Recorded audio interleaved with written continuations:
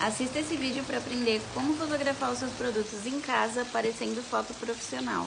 Pode usar o celular mesmo, não precisa ter câmera, mas precisa limpar a lente do celular toda vez antes de fotografar. Eu uso EVA para fazer o fundo das minhas fotos. Ele é ótimo, dá para comprar de várias cores, é super barato, tem em qualquer papelaria.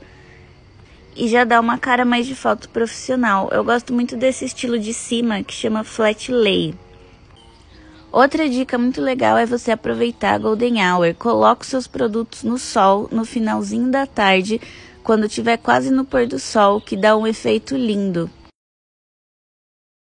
Olha a diferença. Essas cores no sol e essas cores na sombra.